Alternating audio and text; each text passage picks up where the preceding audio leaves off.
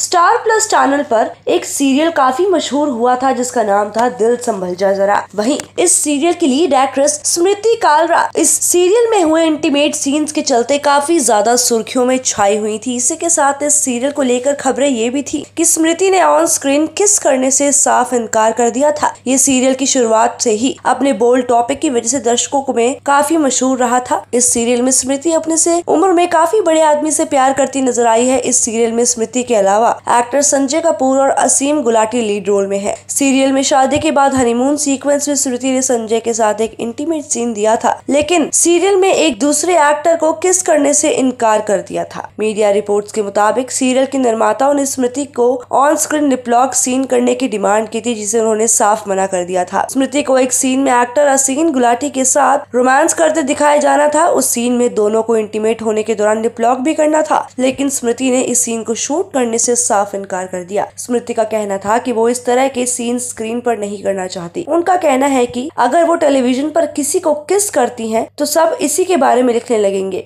और वो ये बिल्कुल भी नहीं चाहती। आपको बता दें कि शो के निर्माताओं ने स्मृति की इस बात को समझते हुए उन पर सीन करने का कोई दबाव नहीं डाला था। वही सीरियल दिल संभल जा जरार चार प्लस शो का काफ़ी जाना माना शो था, जिसको काफ़ी ज़्यादा पसंद किया जाता था। साथ ही साथ इसमें स्मृति और संजय कपूर की बॉन्डिंग भी काफ़ी खूबसूरत तरीके से दिखाई जाती थी जो कि हमेशा अपने हर टॉपिक से दर्शकों का दिल जीत लेती थी।